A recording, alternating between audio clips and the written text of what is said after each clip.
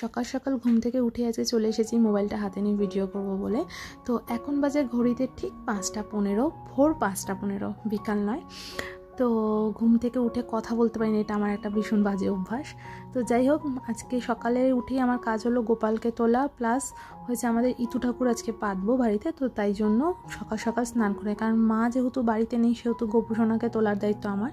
নাহলে মাই সকালবেলা পুজোটা দিয়ে দেয়, সকালের পুজোটা আমি দিই না। তো গোপুসোনাকে তুলবো, প্লাস ইতু ঠাকুর পাতবো আজকে। এবার আমি যাব রেডি হতে, কারণ একদম সকাল সকাল এটা মা বলল, করে দিতে, মা যেহেতু বাড়িতে নেই, নাহলে মাই করে ফেলে। তো তাই জন্য আর বেশি সকালবেলা আমি কথা বলতে পারি আমার খুব প্রবলেম হয়ে যায় গলাতে। তো যাই হোক, চলো, আমি স্নান টান করে ফ্রেশ হয়ে দেখাই কীভাবে আমি পুজোর কাজগুলো করছি। তো আমি এখানে স্নান করে একদম রেডি হয়ে গেছি।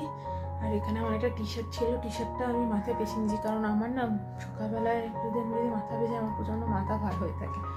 কিছু করার নেই, পুজো যখন দিতে হবে তখন তো আজকে পুরো মাথাটাই প্রবাস করতে হবে। তো যাই হোক, তো এইভাবে ঠাকুরটাকে যে গুছাই আগে ঘরের ঠাকুরগুলোকে দেবো, তারপরে এই তো ঠাকুরটা পাবো। চলো দেখাই কীভাবে কী করি। পুরোটা যদি দেখাতে না পারি, কিছু কিছু করে দেখাবো, পাটপাট করে বুঝে নিও সবাই মিলে।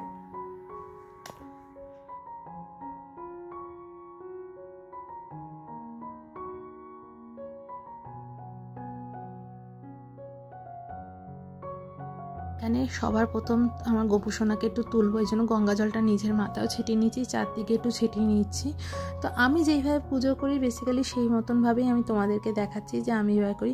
কারণ আমার শাশুড়ির নিয়ম আর আমার নিয়ম একটু আলাদা হয়। মা মায়ের মতন করে পুজো করে, আমি আমার মতন করে পুজো করি। কারণ দুজনে পুজো করার ধরনটাও একটু আলাদা। কারণ আমরা যেহেতু বাঙাল মতে পুজো করি মানে পুজোটা যার যার ব্যাপার, এটা ঠিক কথা বাট বাঙাল ঘটি বলে কোনো ব্যাপার নেই বাট মা যেইভাবে করে, আমি হয়তো সেইভাবে করি না আবার আমি যেভাবে করি, মা হয়তো সেইভাবে করে না।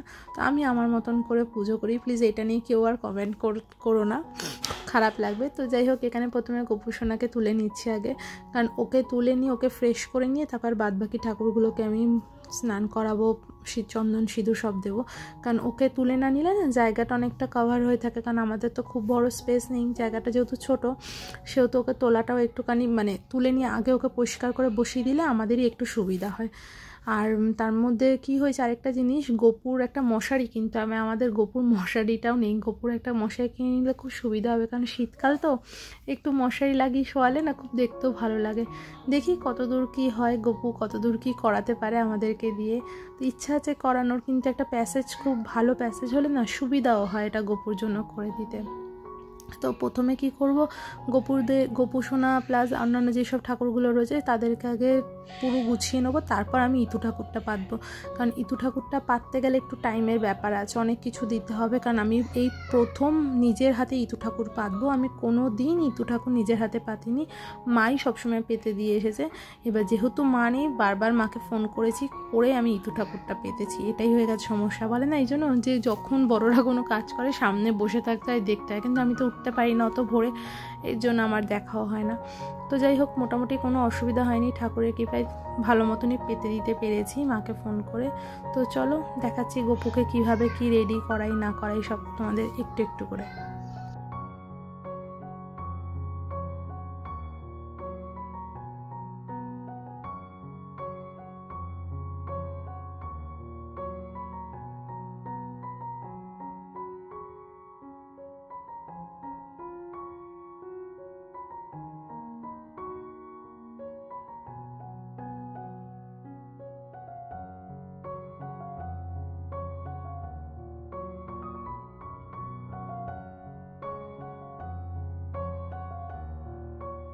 এখানে গোপু সোনাকে একটু চান করিয়ে নিচ্ছি।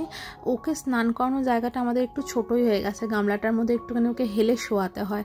কারণ যদি একটা যে ছড়ানো থালা কেনা যায় না, ওর সাইজের খুব ভালো হয়। যেহেতু থালাটা এখনও কেনা হয়ে ওঠেনি আমাদের ওই গামলাটার মধ্যে স্নান করাই। বলে না, মানুষ একদম মানে যেটা চলছে তো চলছেই। যতক্ষণ না সেটার কিছু একটা গতি হবে মানে গামলাটার কোনো ফুটো হয়ে যাবে বা যাবে, আমার হয়তো কেনা হবে না। কিন্তু এটা কিনতে হবে, এটা খুব বাজে লাগে ও দেখতে যে গপুকে এইভাবে চান করানো হয়, গপু হেলে থাকে। তো ঠাকুরমশাইকে বলেছিলাম, উনি বলেছিল, আপাতত করাও এটার মধ্যে যখন পারবে কিনে নিয়ে আসবে। একটা ছড়ানো থালা হলে কি ওকে একদম স্ট্রেটভাবে বসিয়ে স্নান করানো যায় গপুকে? তো সকালবেলায় গপুকে একদমই স্নান করাই না, আমরা এত সকালবেলায়। আমি একটু বেলাতে ওকে স্নান করাই, নিজে স্নান করে উঠে তারপর ওকে করাই। তো ওই জন্য কিন্তু আজকে উপায় নেই। আজকে যেহেতু ইতু পাতবো, সেহেতু ওকে আজকে সকাল সকাল চান করে নিয়েছি। নিয়ে এই যে গপু সোনাকে পুরো সাজিয়ে নিয়েছি। আর এই ড্রেসটা আমার গপুকে আমি কিনে দিয়েছিলাম। আমার খুব পছন্দের একটা ধুতি। আমার খুব ভালো লাগে যে গপুকে একদম পুরো হোয়াইট করে সাজাবো। এটা আমার খুব ভালো লাগে। ও ইচ্ছা আছে আস্তে আস্তে করব, জানি না কতদূর কী করতে পারি। যে হোয়াইট টোপর দিয়ে, হোয়াইট ড্রেস দিয়ে ওকে পুরো সাজাবো, এটা আমার খুব ভালো লাগে। তো এই ছিল আমার সিংহাসনটা। তো আমি মা লক্ষ্মীর কাছেও ঘরটা পাতা হয়ে গেছে। আর টোটালটাকে, ঠাকুরটাকে আমি এইভাবেই সাজিয়েছি, আমার সিংহাসনটাকে, আর ওদেরকে খেতেও দিয়ে দিয়েছি। তো তোমরা দেখতেই পাচ্ছ আমি কীভাবে গুছিয়েছি। মা ছিল না যতটা, যেরকমভাবে নিজের মতন করে পেরেছি, আমি গুছিয়ে দিয়েছিলাম।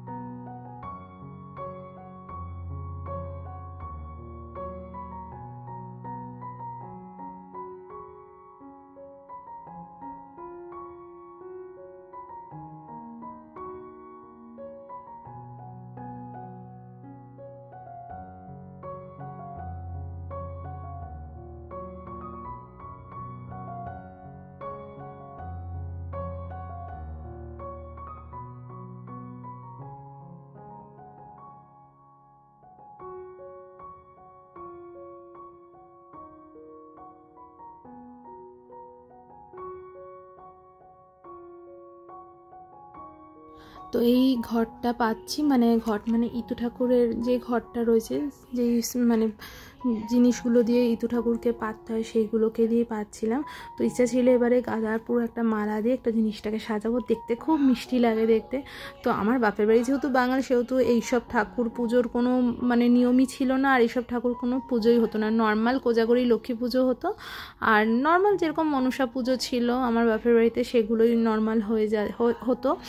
আর এই পুজোগুলো ছিল না, এগুলো না এই বাড়িতে এসে আমি শিখেছি ইতু ঠাকুরের পুজো, তারপর মা, মঙ্গলচণ্ডীর পুজো, এগুলো এদেরই রয়েছে।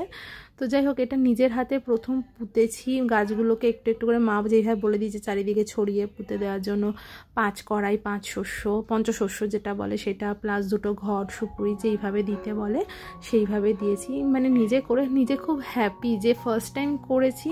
আর মাকে বারবার সকালবেলায় ফোন করছিলাম, কিছু করার ছিল না, কারণ অনেক কিছু নিয়ম আছে, সেই নিয়মগুলো আমার একটুখানি গুলিয়ে যায়, যেহেতু প্রথমবার। সেহেতু মাকে জিজ্ঞাসা করে করেই বলেছি, আর মা ফোনে ছিল যেহেতু। আর সেহেতু আর প্রথম দিকে ভিডিওটা করা হয়নি, কারণ মাটি দিতে হয়, অনেক কাজ আছে গামলাটার মধ্যে। তো এই জন্য প্রথমে দিকে ভিডিওটা করেন তারপর মনে পড়েছে, না, ভিডিও করতে হবে, এটাই তো মেন এটার জন্যই আরও ভিডিও করা। তো তাই জন্য। আর এখানে আমাদের গোপু সোনাকে খেতে দেওয়া হয়ে গেছিল, তাই ওকে একটুখানি এটা প্রত্যেক দিনই আমি করি জবের থেকে ওকে আমি বাড়িতে এনেছি ওকে একটু খাইয়ে দিই। ওর সামনে বাটাটা দিয়ে তারপর কিছুক্ষণ পর ওকে একটু খাইয়ে দিই ফজা যেই যেই খাবারগুলো দিই, ফল দিই, মিষ্টি দিই, যেটাই দিই, তারপর জল একটু ওকে খাইয়ে দিই, দিয়ে তারপর আমি বাটাটা নামিয়ে নিই। এটা দিলে না খুব শান্তি লাগে নিজেকে, যেন মনে একটা বাচ্চাকে কোলে নিয়ে আমি মানে ও যদিও বাচ্চা আমাদের কাছে মানে মানে খুব স্যাটিসফাই লাগে। আর আমি এই জিনিসটা একটা ফিল করি, এটা আমি অনেককেই বলেছি যে গোপুসোনাকে কোলে নিয়ে যে একটা ফিল হয় না মানে আমি ফিলটা বোঝাতে পারছি কি না আমি জানি না মানে আমার ডোডোকে নিয়ে আমার যে ফিলটা হয় কোলে নিয়ে, আমার ঠিক আমার গোপুসোনাকে কোলে নিলে সেই ফিলটাই আসে আমার। তো আমার খুব ভালো লাগে।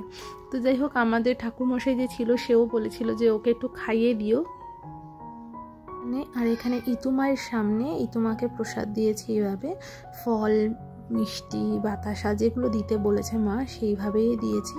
একটু জল দিয়ে দিতে বলেছিল। কারণ আগের বছর আমার মনে আছে মায়ের জলের গ্লাসটা মা দেয়নি। তখন আমি গেলাম, মা, তুমি খেতে দিয়েছ জলের গ্লাস, জানি? তারপর গিয়ে মা আবার অন্যায় শিখে যেটা বলে, ঠাকুরের কাছে ক্ষমা আছে। তারপর আবার মা গ্লাসটা দিয়েছিল। তাই জন্য এবার বছর মা বারবার আমাকে মনে করিয়ে দিয়েছিল যে, তুমি কিন্তু গ্লাসটা দিও, আমার কিন্তু আগের বছর ভুল হয়ে গেছিল। তো যাই হোক এবছর এইভাবেই পুজোটা আমি করেছি। খুব ভালো মতন পুজোটা হয়েছে। কিন্তু সকাল পাঁচটা পনেরোই বসেছি আর সকাল সাড়ে সাতটা নাগাদ আমি উঠেছি, আমার মনে আছে। তো যাই হোক, আমি এইভাবেই ইতু ঠাকুরটা পেতেছি। তোমরা যারা যারা ইতু ঠাকুরের ব্রত করো বা ইতু ঠাকুর বাড়িতে করো প্লিজ তোমরা জানিও তোমরা কে, কীভাবে করো, আমার কোনো ভুল হয়েছে কি না, তাহলে বুঝতে পারব। আমার শাশুড়ি তো বলল ভুল হয়নি বাট তোমরা দেখে একটু জানিও তোমরা কে, কীভাবে করো ইতু ঠাকুরের ব্রতটা আর কীভাবে ঘরটা মানে গামলাটা তোমরা পাতো। আর এখানে ভোগটা দিয়ে আমি এখানে আমাদের যে ইতু মায়ের ব্রত কথা যে বইটা রয়েছে সেই বইটাই পড়ছিলাম। পড়ে নিয়ে তারপর আমি উলুধ্বনি শঙ্খ ভাজিয়ে তারপর ওখান থেকে আমি সরব। আমার পুজো কমপ্লিট হয়ে গেছে, এবার যাব রান্নাঘরে, কারণ অলরেডি এখন সাড়ে সাতটা বাজে। যাও। সাড়ে সাতটা বাজে এবার যাব রান্না করতে, কারণ রীতা এসেছে। আর চিরও বেরাবে। দুজনে মিলে অফিসে বেরাবে। তো দুজনের রান্না তাড়াতাড়ি করতে হবে। নটা সাড়ে নটার মধ্যে বেরাবে। আজকে যেহেতু নিরামিষ, আশা করি তাড়াতাড়ি হয়ে যাবে। আর আমার এখানে একজন চাদর চাপা দিয়ে চা খেতে বসছে কারণ তার নাকি এত ঠান্ডা লাগছে সেই নিচে যেহেতু সবাই উপরে ঘুমাচ্ছিল, সেহেতু নিচেই বসেছিলাম আমরা।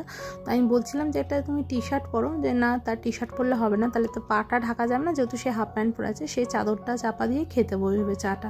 মানে এইরকম ক্যাটাগরির মানুষ কার কার বাড়িতে থাকে প্লিজ আমাকে একটু জানিও যে, এরকম চাদর চাপা দিয়ে নিচে বসে। আমার এইসব মানুষগুলোকে দেখলেই না আমার বিরক্তি লাগে যে, এই, এইগুলো খুব ব্যাড ম্যানার্স কারণ এই চাদরটা চাপা দিয়ে খেতে বসেছে। বাই চান্স চাটা পড়ে গেলে ব্যাস, চাদরটা তো যাবে, সাথে সাথে চাটাও যাবে। আমার এই সব ক্যাটাগরি মানুষকে একদম পছন্দ না, কিন্তু কি করব এদেরকে নিয়ে সংসার করতে হয় কিছু করার নেই। মানে এদেরকে তো আর ছেড়ে দেওয়া যায় না। আর এখানে সেই টপিক নিয়ে কথা হচ্ছে। কারণ চাদরটা উনি চাপা দিয়ে বসবে আর আমিও ওনাকে জিজ্ঞেস করছি কেন বসছো তুমি? তো এই যে টপিকে যে কথা হচ্ছে, আর ওপর দিয়ে রীতা একটুখানি করে মানে বলে না জাস্ট একটু ফোড়ন দেওয়া, সেই ফোড়ন দেওয়ার কাজটা ও করছিল। কারণ ও ল্যাপটপে বসে কাজও করছিল বলছিল, দাঁড়া তোরা খা, আমি আসছি। ওর একটা কাজ ছিল। তো যাই হোক, সেই টপিকে কথা হচ্ছে। আমি যদি এখানে যদি দিতাম যে কী কী ভয়েসটা মানে নিজস্ব ভয়েসটা যদি যেই ভিডিওটাতে কথাগুলো আলোচনা হচ্ছিল, সেগুলো যদি দিতাম ওগুলো পাতে নেওয়ার মতন ছিল না, তো ওই জন্য আমি দিইনি। ওগুলো দিতে নিজেরই খারাপ লাগছিল। আর এখানে করেছি, ওদের টিফিন বাড়া হয়ে গেছে, আর ওদের খেতেও দেওয়া হয়ে গেছে। এখানে করেছিলাম সিম দিয়ে ডাল, মুগের ডাল, বেগুন ভাজা করেছিলাম, ভাত করেছি, আর করেছি ফুলকপি, আলু দিয়ে দম করেছি একটা। ওরা বলল, আর কিছু করতে হবে না, নিরামিষে এটাই এনাফ তো দুজনে খেয়ে দিয়ে এবার বেরিয়ে যাচ্ছে। এই যে আমার হাতে ব্যাগ। এই তো রয়েছে।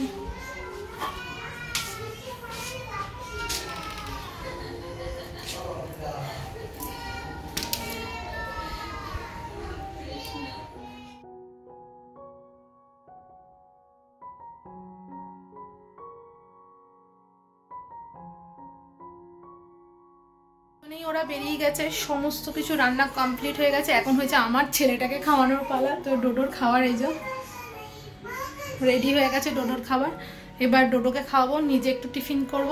তারপর চলো, যতটা পাচ্ছি তোমাদের সঙ্গে শেয়ার করছি, যেভাবে পারছি। দেখে নিও, আর তোমরা একটু জানিও যে ইতু ঠাকুরের সাজানোটা কেমন হয়েছে। যারা যারা ইতু পুজো করো বেসিক্যালি তো তারা একটু জানিও কেমন কি হয়েছে। আমি এই ফার্স্ট টাইম নিজের হাতে পেতেছি মানে আমি কোনোদিন পাতি না। মা বেশিরভাগ টাইমটা মা কি বেশিরভাগ কি জবের থেকে আমরা করেছি মানে আমি করেছি এই বাড়িতে এসে। মাই পেতে দেয়, তারপর আমি একটু বইটা পড়ে একটু জলটা দিই।